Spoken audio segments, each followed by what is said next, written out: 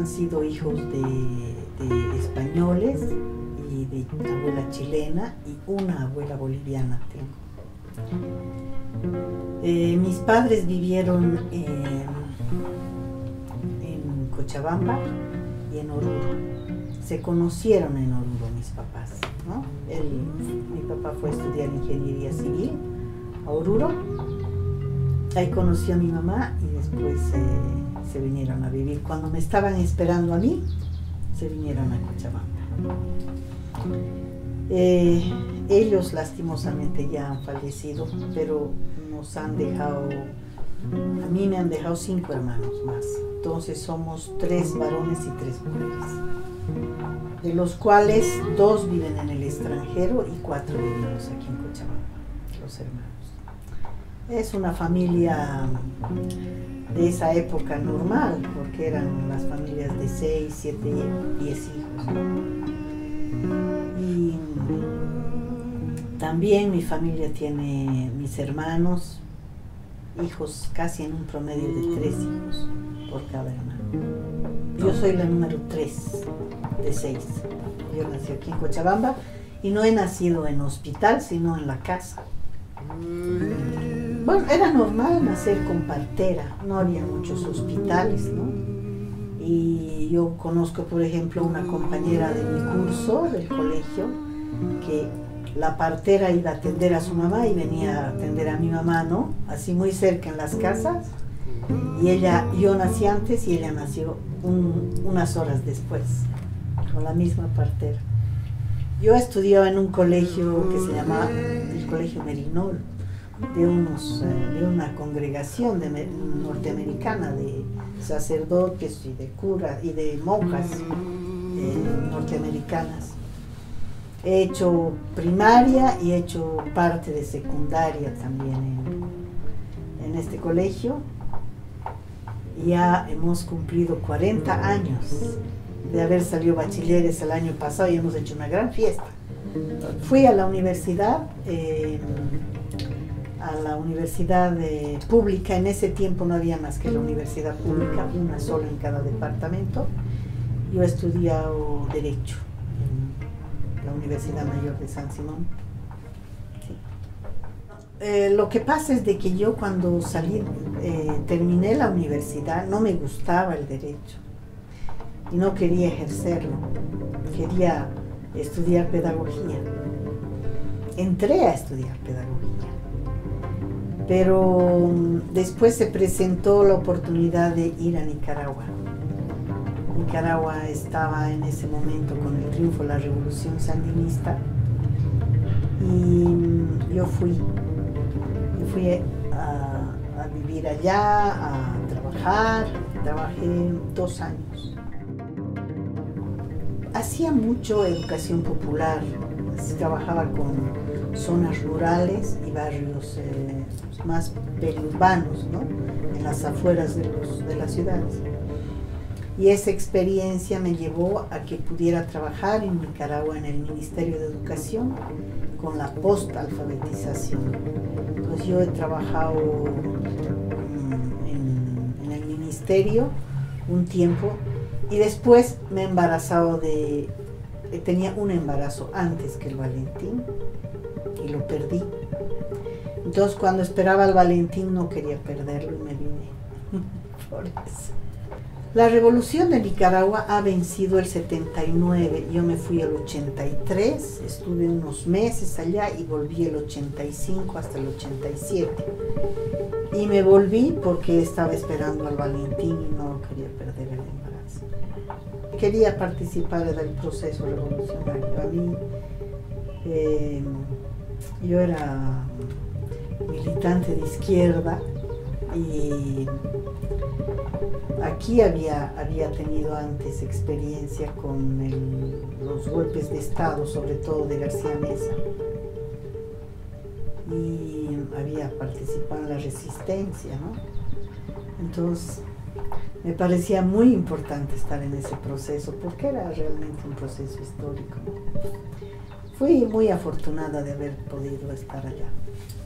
Volví, eh, nació Valentín y cuando él tenía cuatro meses de edad me fui a trabajar a Yungas con los productores de hoja de coca de Yungas en la zona tradicional.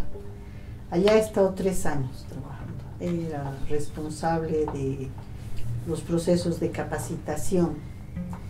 El gobierno de Bolivia había firmado un convenio internacional para sustituir en el año 61 en 25 años los cultivos de hoja de coca.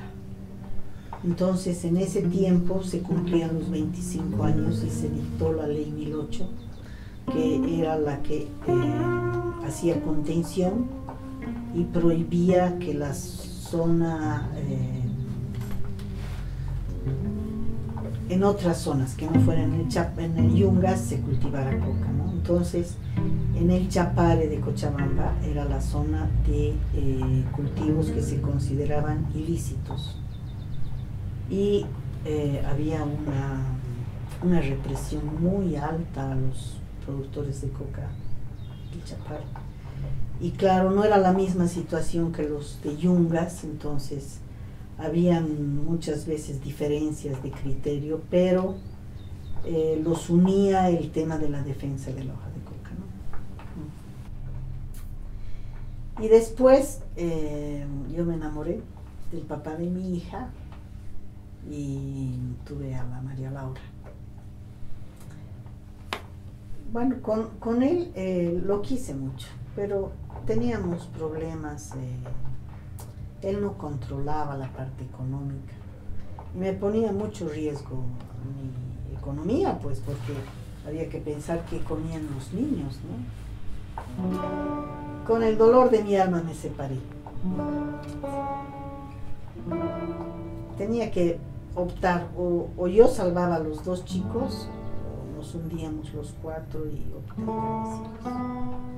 Bueno, yo, yo he hecho mi tesis de grado para la universidad, para obtener el título de abogada sobre em, la despenalización del cultivo agrícola de la hoja de coca. Porque, porque legalmente es un error concebir que un producto natural sea criminalizado. Un objeto no puede ser objeto de una tipificación de la comisión de un delito, ¿no? Y he cuestionado el tema de la forma de haber juntado el binomio coca-cocaína porque una cosa es la producción agrícola y otra cosa es la producción química de las drogas. Yo hacía una diferencia muy clara ¿no? en, esta, en esta concepción de lo que es coca eh, consideraba que los productores eran campesinos, su raíz, su esencia son productores agrícolas que tenía que haberse devuelto esta categoría ¿no? del campesino. Y el tema del narcotráfico, em, si bien en esos años estábamos empezando a recibir información sobre lo que era el impacto económico de, las drogas, sobre eh, la cantidad de coca que se requería para hacer un kilo de pasta base o de clorhidrato de cocaína, todo esto, no teníamos tan eh, encarnizado el problema del consumo nacional de drogas. No era muy claro y, nos parecía en ese momento a muchos estudiosos de este tema como que ese era un problema fuera de las fronteras de Bolivia.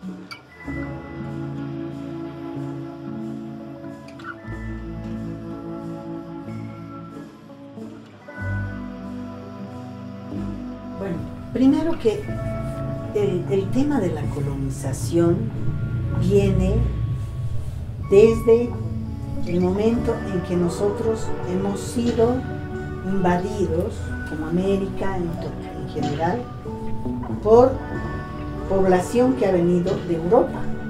Ustedes han tenido, nosotros que se han apropiado además de los terrenos, de la riqueza, de todo. En el caso nuestro han sido los españoles. Y los españoles también eran el resultado de muchas colonizaciones, porque también han sido sojuzgados por los romanos. Entonces, la práctica de la discriminación y del racismo lastimosamente la han traído los españoles. Y la práctica del patriarcado también. Porque el patriarca, ¿quién era? Era un patricio, propietario de haciendas y de esclavos que atendían y hacían sus riquezas. Este patricio se apoyaba en la curia de la iglesia y en el poder político, ¿no es cierto? Entonces, de esa forma tenía sus apoyos. Pero en ello, él era el único dueño de la vida de las mujeres, de los niños, de los, de los sirvientes, de los esclavos, de todo. Esta, este es el concepto que viene de patriarca acá. Y nosotros, por supuesto las mujeres, no hemos podido tener reconocidos nuestros derechos e incluso ejercido los derechos plenamente. En 1950, el 52, recién las mujeres en nuestro país pueden votar. Hasta ese momento no había reconocimiento de los derechos de las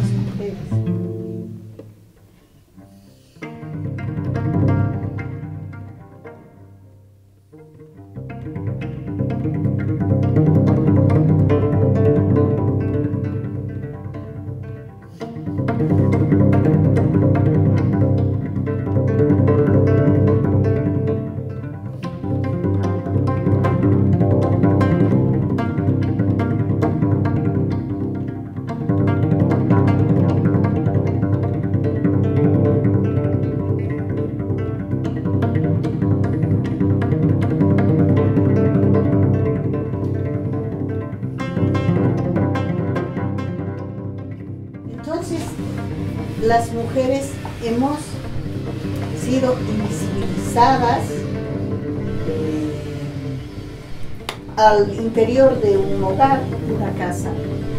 Por supuesto, sometidas a un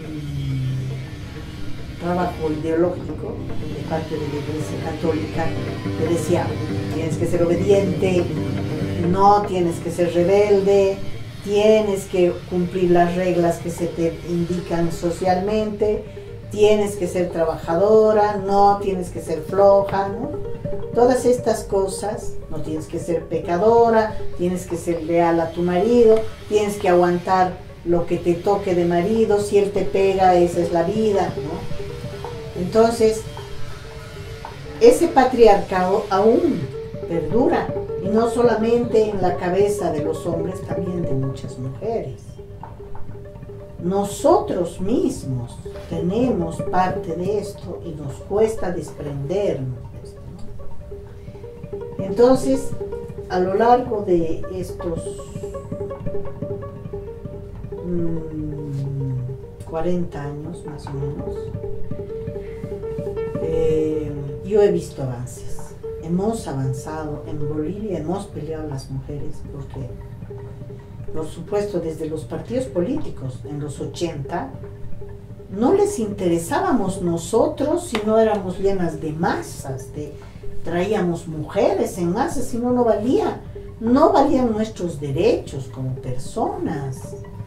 Se decía, cuando se haga la revolución, vamos a hablar recién de los derechos de las mujeres. Entonces, para los hombres de izquierda, también el patriarcado lo tenían muy metido, muy cómodamente metido. Entonces, eh, creo que en los 40 años que tengo, he visto un avance muy grande.